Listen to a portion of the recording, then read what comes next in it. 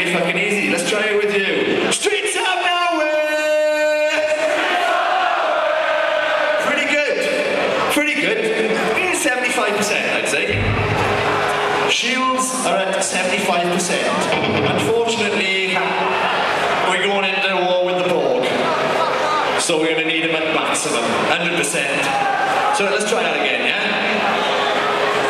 Like your life depended on it.